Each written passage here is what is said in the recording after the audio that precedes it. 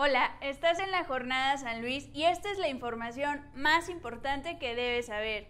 Este sábado, un arcoíris de personas recorrerá las calles de San Luis Potosí para respaldar la iniciativa que busca modificar el código familiar para facilitar que a las personas transgénero se les reconozca el cambio de identidad.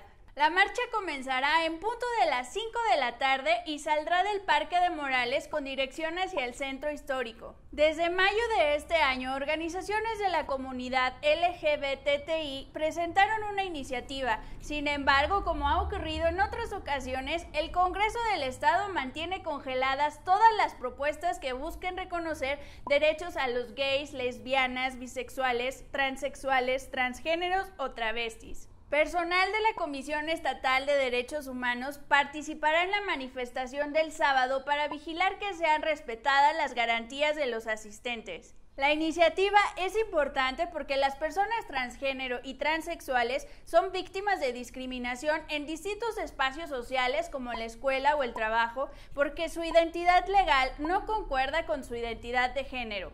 ¿Y ustedes qué opinan?